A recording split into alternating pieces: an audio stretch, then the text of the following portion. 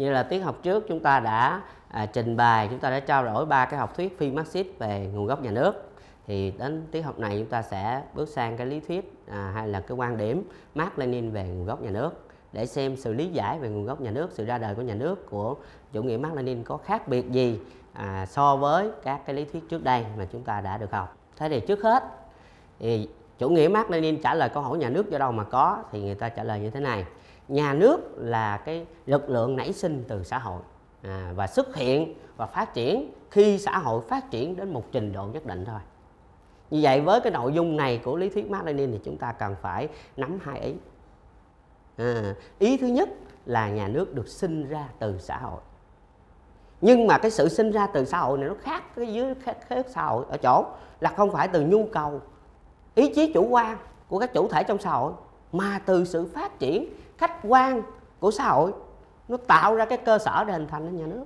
À, cái ý này các bạn phải nắm đúng không? Cái thứ hai nữa là gì? Là không phải mọi xã hội đều có cái cơ sở cho sự tồn tại của nhà nước hết.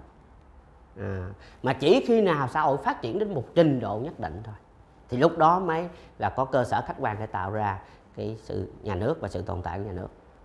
Như vậy ở đây chúng ta cần phải biết được chiều dài phát triển của xã hội là nó qua những giai đoạn lịch sử nào và đến giai đoạn nào là được coi như là trình độ nhất định để có cơ sở tạo ra nhà nước. Và từ chỗ đó chúng ta đi sâu hơn à, cụ thể hơn. Đó là chúng ta trả lời cái cơ sở mà làm xuất hiện nhà nước đây là cái gì. À, như vậy thì tôi muốn à, à, kiểm tra kiến thức các bạn chút xíu. À, từ trước giờ mình học triết học rồi đúng không? Như vậy xã hội loài người ta thì trải qua những giai đoạn nào theo cái quan điểm học thuyết Mác Lênin thì tôi muốn à, các bạn trả lời tôi biết rồi.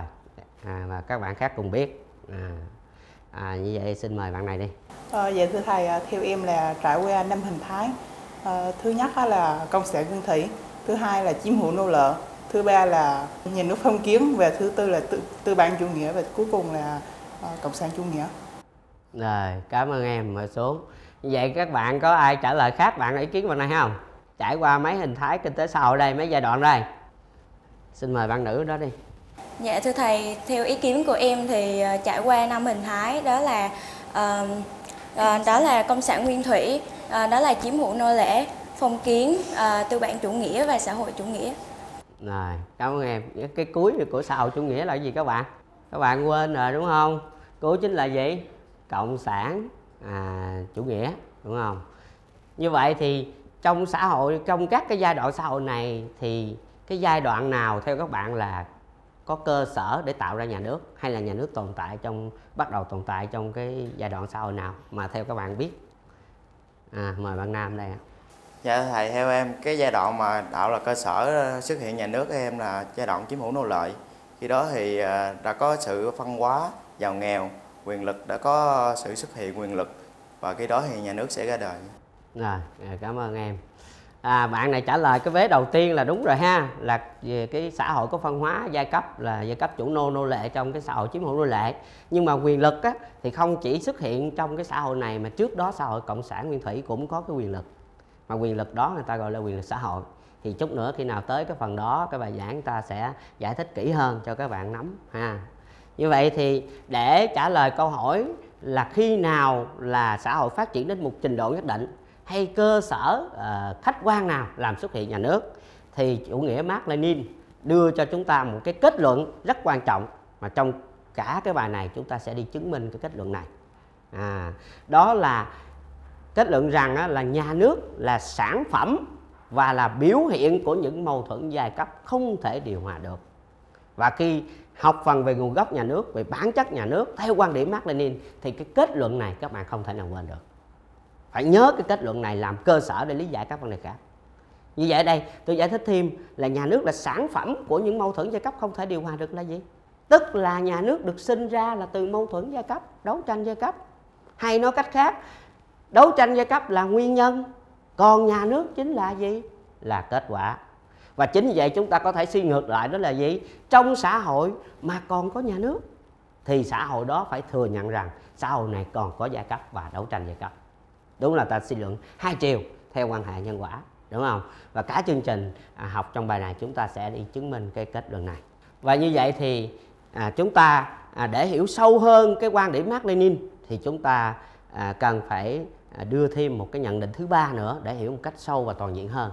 Đó là chủ nghĩa đó Mark Lenin kết luận rằng là nhà nước không phải là hiện tượng vĩnh cửu và bất biến. Tức là gì? Là nhà nước không phải tồn tại mãi mãi mà nhà nước mất đi. Cho nên là các nhà kinh điển Mark cho rằng là đến một giai đoạn nào đó thì nhà nước sẽ được đưa vào cái viện bảo tàng đồ cổ à, bên cạnh chiếc rìu bằng đồng và chiếc khung quay sợi tức là xã hội không cần nhà nước nữa. Nhà nước không không còn có vai trò gì không còn có ích cho xã hội nữa. À, như vậy theo các bạn là à, xã hội nào thì sẽ theo quan điểm Mark Lenin xã hội nào sẽ không còn nhà nước nữa? Xã hội nào mà không cần nhà nước nữa? À, như vậy à, mời các bạn nữ đi. Dạ thưa thầy là đến uh, hình thái uh, cộng sản chủ nghĩa thì nhà nước sẽ không còn tồn tại nữa. Theo bạn là tại sao tới đó không còn nhà nước nữa? Dạ thưa thầy là uh, bởi vì đến lúc đó thì mâu thuẫn giai cấp không đã điều hòa được và không có mâu thuẫn giai cấp. Cảm ơn bạn. À ngồi xuống. À, như vậy thì chúng ta thấy là bạn trả lời rất đúng ha. Theo quan điểm chủ nghĩa mác Lenin thì đến xã hội cộng sản chủ nghĩa thì lúc này xã hội sẽ không còn giai cấp và đấu tranh giai cấp nữa. Và theo cái sự mô tả của các nhà kinh điển mác Lenin thì lúc này là sở hữu chung rồi không có sở hữu tư nhân nữa. Và về cơ sở cho sự tồn tại giai cấp không còn nữa. Và lúc đó xã hội rất là tốt đẹp làm theo năng lực hưởng theo nhu cầu. À, và cái ý thứ hai của cái kết luận này đó là gì? Người ta quan điểm Mark Lenin cho rằng là nhà nước không phải là hiện tượng bất biến bất biến tức là gì là không phải nó đứng im nó không vận động phát triển mà từ sự khi ra đời đầu tiên đó là nhà nước chủ nô thì nó luôn vận động và vận động theo hướng phát triển tức là sự thay thế các kiểu nhà nước từ nhà nước chủ nô đến nhà nước phong kiến đến nhà nước tư sản đến nhà nước cuối cùng là nhà nước xã hội chủ nghĩa và như vậy mỗi một kiểu nhà nước là một bước tiến trong cái quá trình phát triển của nhà nước nói chung và xã hội nói chung tức là nhà nước càng về sau nhà nước càng dân chủ càng tiến bộ hơn à, thì à, ở đây là những cái tổng quan về cái quan điểm à, của học thuyết Mark Lenin là quan điểm học thuyết Mark Lenin về nguồn gốc nhà nước là những ý chính à, chúng ta cần phải nắm. Thế thì qua những cái à, nội dung này thì theo các bạn á thì chúng ta thấy rằng là à, cái quan điểm này nó khác gì với cái à, nó có những cái điểm khác có những cái ưu điểm gì có những cái hạn chế gì? So với các lý thuyết phi Marxist về nguồn gốc nhà nước. À, à, xin mời các bạn có ý kiến. Xin mời bạn nữ ra. Dạ thưa thầy thêm là uh, cái um, về chủ nghĩa Mác Lênin thì nó mang tính, tính uh, uh, duy vật uh, khách quan. Còn uh, uh, những uh, uh, những cái um, phi Marxist thì nó mang tính uh, duy tâm. À. rồi cảm ơn em. Mời em ngồi xuống. Vậy bạn trả lời rất đúng đúng không đối với khế ước xã hội thì di tâm chủ quan cho rằng con người mong muốn có nhà nước. Đối với thần quyền là di tâm khách quan tôn giáo à, cho rằng là lực lượng siêu nhiên tạo ra nhà nước. Còn đối với à, học thuyết mát ta, ta thấy cái tính khách quan à, khi lý giải về nguồn gốc nhà nước ở chỗ là nhà nước ra đời là không phải mong muốn chủ quan của các cái thành viên trong xã hội cũng không phải từ lực lượng siêu nhiên mà là từ sự phát triển tự nhiên của xã hội nó tạo ra các cơ sở và điều kiện khách quan làm xuất hiện nhà nước và cái cơ sở điều kiện khách quan ấy chính là gì? Mâu thuẫn và đấu tranh giai giai cấp như chúng ta đã kết luận trên. À như vậy thì chúng ta à, kết luận thứ nhất của chúng ta nói tóm lại là lý thuyết Mark Lenin là lý giải về nguồn gốc nhà nước mang tính chất khách quan à, dựa trên cơ sở của chủ nghĩa di vật à, biện chứng nói chung và di, di vật lịch sử nói riêng. Và cứ thứ hai trên cơ sở này sẽ rất quan trọng ha. Sau này chúng ta sẽ tới cái phần về bản chất nhà nước. Thì như vậy nguồn gốc nhà nước lý giải từ cái đấu tranh giai cấp như vậy nhà nước ra đời từ mâu thuẫn giai cấp đấu tranh cấp như nhà nước thực sự là cái gì? Bản chất nhà nước là gì? Thì trên cơ sở này à, chủ nghĩa Mark Lenin xác định bản chất thực sự của nhà nước không phải phục vụ cho xã hội giống như cái xã hội nói mà đó là gì? Là đó là phục vụ cho lợi ích của giai cấp thống trị là cái giai cấp tạo ra nhà nước. Và cái thứ ba trên cơ sở đó nếu như con người ta muốn sống một cuộc sống là tốt đẹp hơn yêu thương hơn nhân văn hơn thì không có người này bóc lột người kia thì mình phải đấu tranh và giải phóng giai cấp nhà nước xã hội. Để tiến tới một xã hội không còn mà giai cấp nhà nước nữa. Cái xã hội đó chính là cộng sản nguyên thủy. Và lúc đó người ta sẽ làm theo năng lực hưởng theo nhu cầu và không còn nhà nước nữa. Và đây cũng chính là mục tiêu chính mà các nhà kinh điển Mark Lenin từ từ à, là Engel, Marx cho đến Lenin đều mong muốn đến một cái xã hội này và như vậy trên cơ sở toàn bộ các cái lý thuyết về nguồn gốc nhà nước như tôi đã à, trình bày các bạn là có hai loại lý thuyết à, phi Marxist về nguồn gốc nhà nước và lý thuyết Marxist về nguồn gốc nhà nước. Chúng ta cũng đã rút ra được những ưu điểm những hạn chế của từng học thuyết. Và trong đó chúng ta sẽ bám vào học thuyết Marx Lenin này để chúng ta xem xét cái quá trình hình thành nhà nước trong lịch sử như thế nào. Và các nhà kinh điển Marx của Marx chủ nghĩa Marx Lenin người ta sẽ chứng minh cái sự ra đời của nhà nước như thế nào trong quá trình à, lịch sử như vậy chúng ta sẽ bước sang phần thứ hai để chứng minh cái lý thuyết này trong cái à, thực tiễn xã hội. Ừ, đó là quá trình hình thành nhà nước theo cái quan điểm Mark Lenin. Như tôi đã hỏi các bạn và các bạn đã trả lời đó thì xã hội là người đã trải qua năm giai đoạn chiếm hữu nô lệ đến phong kiến rồi đến tư bản chủ nghĩa xã hội chủ nghĩa và cuối cùng là cộng sản chủ nghĩa. Cho nên chúng ta sẽ tìm hiểu à, cái từ đầu của cái xã hội à, loài người. À, thì đó là xã hội cộng sản nguyên thủy để ta tìm xem cái xã hội này đã có cơ sở để hình thành nhà nước hay chưa? Như vậy là cái mục thứ nhất của chúng ta à, chúng ta tìm hiểu đó là chế độ à, cộng sản nguyên thủy và xã hội à, thị tộc bộ lạc hay là tổ chức thị tộc bộ lạc. Thế thì các bạn nghe cái tên đầu tiên á, là thấy là cộng sản đúng không? Vì cộng sản là gì? Cộng sản là sở hữu chung về tài sản. Nghe từ cộng đó là sở hữu chung. Sản đây là tài sản. Như vậy nghe cái tên là chúng ta hiểu được cái cơ sở tồn tại của xã hội này cái cơ sở kinh tế tồn tại xã hội này rồi. Đúng không? Dễ nhớ đúng không? Cái cơ sở kinh tế tồn tại xã hội này chúng ta à, phải nắm và phải nhớ đó là đặc trưng quan trọng nhất đó là nó có chế độ sở hữu chung về tư liệu sản xuất. Hay nói khác là cái xã hội này người ta cùng làm cùng ăn cùng chia. À, không có sở hữu tư nhân không có của anh hay của tôi mà của chung chúng ta cùng làm cùng ăn cùng chia. Không có người giàu không có người nghèo. Giống như xã hội hiện đại ngày nay chúng ta đúng không? À, như vậy thì theo các bạn là tại sao trong xã hội này nó không có sở hữu tư nhân? Giống như xã hội ngày nay chúng ta mà lại là sở hữu chung về tư liệu sản xuất cũng như là sản phẩm lao động. À xin mời các bạn. À rất tốt à rồi xin mời bạn nữ đây. Dạ em thưa thầy là ở chế độ cộng sản nguyên uh, cộng sản nguyên thủy thì uh, uh, chủ yếu là chế độ sở hữu chung bởi vì là ở đây phương thức sản xuất còn lạc hậu uh, công cụ lao động thì còn thô sơ nên là tài sản tạo ra thì còn ít nên là không có sở hữu riêng mà chỉ có sở hữu chung ạ. Rồi cảm ơn em. À, bạn trả lời cái ý rất đúng ha. Tức là gì? Là phương thức sản xuất là tức là luật sự lượng sản xuất và quan hệ sản xuất và trong đó là quan trọng nhất là lực lượng sản xuất. Và trong lực lượng sản xuất như triết học các bạn biết rồi trình độ và kỹ năng của người lao động là yếu tố quyết định. Và trong giai đoạn này trình độ và kỹ năng của người lao động thấp kém công cụ lao động thì thô sơ. Và chính vậy sản phẩm làm ra không có nhiều. Người ta làm ra hay nhiêu ta ăn hết nhiều. Đâu có cái của dư thừa đâu mà làm cái sở hữu tư nhân giống ngày nay. Cái cơ sở đâu mà sở hữu tư nhân. Ngoài ra là trong xã hội này á, người ta còn phụ thuộc vào thiên nhiên rất là nhiều. Chỉ cần sấm chớp thôi người ta cũng sợ nữa. Đúng không? Và thú dữ. Và vậy người ta có một cái nhu cầu tất yếu là cùng lao động, cùng sinh sống nhau, cùng che chở nhau à, đó chính là những cái cơ sở để lý giải tính khách quan của chế độ à, à, kinh tế trong cái xã hội này. Cơ sở kinh tế này nó dẫn đến cái cơ sở xã hội và các cái nhà kinh điển người ta lý giải rất là logic. Từ cái cơ sở kinh tế này dẫn đến cơ sở xã hội là sao? Là quan hệ xã hội của người với người trong xã hội mang tính chất bình đẳng. Không có người giàu không có người nghèo. Cho nên không có người này bóc lột người kia. Cho nên xã hội này không có giai cấp và nếu không có giai cấp thì chúng ta, đến đây chúng ta có thể khẳng định rằng là xã hội này là không có nhà nước.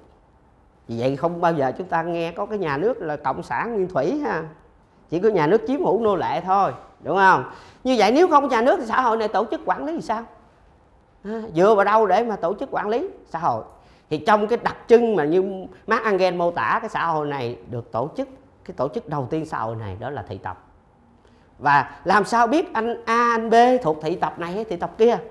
Thì người ta dựa vào cái nguyên tắc là huyết thống và tính theo họ mẹ. Thế tại sao tính theo họ mẹ mà không tính theo họ cha? Bởi vì trong giai đoạn này á, cái quan hệ tính giao á, là nó quan hệ theo kiểu quần hôn hay là tạp hôn. Cho nên mình không có biết cha là ai chứ tức là gì? Một người đàn ông có thể quan hệ tính giao với nhiều người phụ nữ và ngược lại, cho nên cuối cùng không biết cha là ai à, và như vậy đây à, người ta mô tả là mỗi cái thị tộc á, thì tính theo huyết thống thì khoảng trăm người. Và nhiều cái thị tộc á, hợp lại thành cái gọi là bào tộc. Và nhiều bào tộc hợp lại thành cái bộ lạc. Cho nên người ta gọi tên chung của xã hội này là cộng sản nguyên à, thủy và tổ chức thị tộc bộ lạc là như thế. À, như vậy thì nếu như không có nhà nước thì có thị tộc như vậy thì theo các bạn là nhu cầu quản lý xã hội cần không? Thị tộc cần không?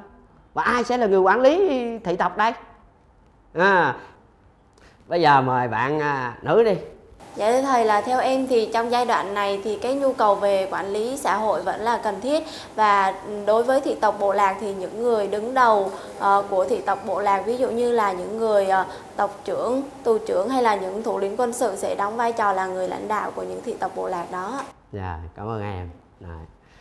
Các bạn có coi phim là môi voi ma mút không? À, như vậy là cái phim này nó sẽ phản ánh rất trung thực cái xã hội thị tộc bộ lạc là như thế nào. Cái người tù trưởng tộc trưởng như thế nào có sức mạnh như thế nào bảo vệ thị tộc của mình đúng không? Nếu ai chưa coi về coi phim này rất hay đúng không? Như vậy thì như các bạn đã nói đó thì chúng ta sẽ giới thiệu sang là cái tổ chức thị tộc bộ lạc nó sẽ quản lý tổ chức như thế nào.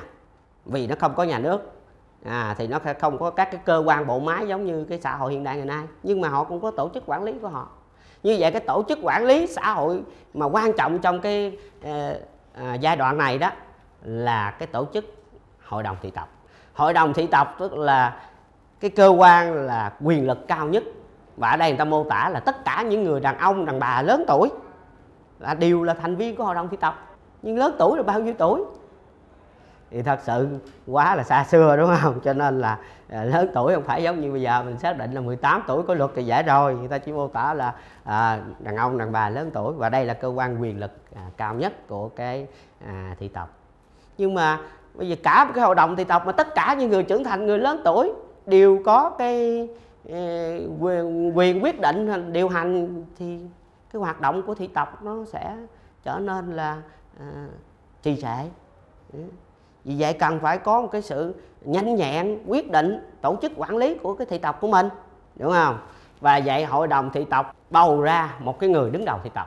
Và người này thì thường gọi đó là tù trưởng à, tộc trưởng hay là thủ lĩnh quân sự. Như vậy họ sẽ chọn ai để làm tù trưởng hay tộc trưởng hay thủ lĩnh quân sự đây? Thì thông thường á họ sẽ chọn những người có à, năng lực có uy tín lớn tuổi một chút có kinh nghiệm hiểu biết. Và đặc biệt là trong xã hội này các thị tộc luôn chiến tranh liên miên giành giật của cả tài sản. Trên người đứng đầu thị tộc có một cái tiêu chí rất quan trọng là phải có võ nghệ cao cường.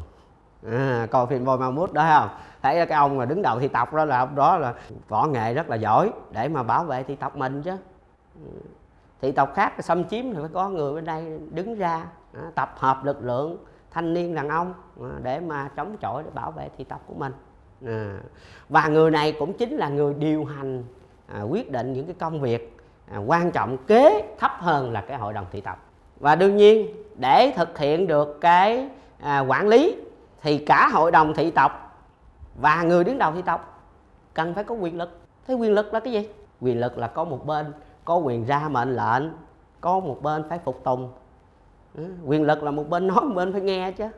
Đúng không? Vậy ông quản lý thì ông phải có quyền lực hay là gọi là chủ thể của quyền lực. À, còn cái người mà bị quản lý là đối tượng quản lý là phải phục tùng. Như vậy để thực hiện được cái sự, sự quản lý thì cần phải có quyền lực. Cho nên hội đồng thị tộc và tù trưởng tộc trưởng hay người đứng đầu thị tộc cũng có quyền lực để quản lý xã hội. Nhưng quyền lực trong cái xã hội này á, mà các cái thiết chế này có được nó rất đặc thù. Quyền lực này có tên là quyền lực xã hội. Ừ, nó không giống với quyền lực nhà nước. À. sau này nhà nước ra đời có một thứ quyền lực gọi là quyền lực công cộng đặc biệt hay gọi là quyền lực nhà nước. Thế quyền lực xã hội thì nó có những đặc trưng gì? Nó khác biệt gì? Nó nó đặc thù gì mà để chúng ta phải nắm lại sau này chúng ta phân biệt với quyền lực nhà nước sau khi nhà nước ra đời? Thì có thứ cái đặc trưng thứ nhất chúng ta phải, phải nắm. Quyền lực xã hội là nó thuộc về toàn xã hội nó gắn liền với xã hội. Như ở đây chúng ta thấy đó là hội đồng thị tộc là ai? Là tất cả những người đàn ông đàn bà lớn tuổi trong cái thị tộc đúng không? Như vậy là quyền lực xã hội đây là nó thuộc về toàn xã hội. Nó không có giai cấp này hay giai cấp kia hay nhóm này hay nhóm kia. Thứ hai là mục đích của cái việc thực hiện quyền lực xã hội là lấy làm gì? Thì mục đích của việc thực hiện quyền lực xã hội này là bảo đảm lợi ích chung của thị tộc à, chứ không lợi ích riêng và điều này chúng ta chứng minh rất là dễ thôi. Đó là gì? Đó là xã hội này nó là xã hội chung về tư liệu sản xuất mà. Cho nên quản lý để tốt hơn đúng không? Tốt hơn thì được lợi lộc lợi ích nhiều hơn lợi ích nhiều hơn thì được chia đều cho mọi người. Cho nên cái quyền lực xã hội này nó không thuộc về giai cấp này giai cấp kia mà nó vì lợi ích chung của xã hội. Chứng minh rất dễ. Và cái thứ ba à, quan trọng à, để mà nhấn mạnh đó là cái cơ chế cái phương tiện để bảo đảm thực hiện quyền lực này là cái gì? Nó có quân đội, nhà tù, cảnh sát như ngày nay không? Như cái nhà nước hiện đại này không? Thì chúng ta trả lời là không. Thì trong cái giai đoạn này, người ta thực hiện cái quyền lực xã hội, cái phương tiện bảo đảm đó là gì? Đó là cái dư luận của xã hội, đó là uy tín của người đứng đầu thị tộc đó là sự tự nguyện của các thành viên trong xã hội. Nó không có bộ máy cưỡng chế đặc biệt là quân đội, nhà tù, cảnh sát như là xã hội ngày nay của chúng ta. À thì đó là cái đặc trưng của quyền lực xã hội mà các nhà kinh điển Mark Lenin à, lý giải chúng ta. Dĩ nhiên à, cũng có những cái quan điểm người ta nói à, cho rằng là trong xã hội này nó còn à, chưa văn minh còn mong muội cho nên quyền lực à, bạo lực nó nó lại nhiều hơn trong xã hội ngày nay chứ cho nên ngày xưa người ta nói là cái bộ máy hay là cái những cái nhóm người mà để thực hiện cái cái quyền lực của cái tổ chức thị tập bộ lạc là sử dụng bạo lực chứ không phải không? À, tuy nhiên những cái quan điểm này thì nó không có nó chỉ là một cái quan điểm ờ, lý giải một cách chung chung vậy thôi nó không đi theo một cái hệ thống logic như là cái quan điểm của à, Marx để mà lý giải từ cái xã hội à, không có nhà nước đến xã hội có nhà nước từ xã hội à, sở hữu chung về tư liệu sản xuất đến xã hội à, có cái sở hữu tư nhân về tư liệu sản xuất thì nó không hệ thống logic. Vì vậy chúng ta cũng coi như là một cái quan điểm mà chúng ta xem xét thêm thôi. Chứ còn trên cơ sở này thì chúng ta thấy rõ ràng là cái quan điểm à, Mark Lenin người ta lý giải về à, cái nguồn gốc nhà nước rồi về cái cơ sở kinh tế xã hội tổ chức quản lý của xã hội thị tập bộ lạc thì trên cái cơ sở là à, khách quan và logic như à, chúng ta đã được nghe. Thì à, à cái tiết học này về cái vấn đề này thì à, chúng ta kết thúc ở đây và cảm ơn các bạn đã à, lắng nghe trong cái tiết học này.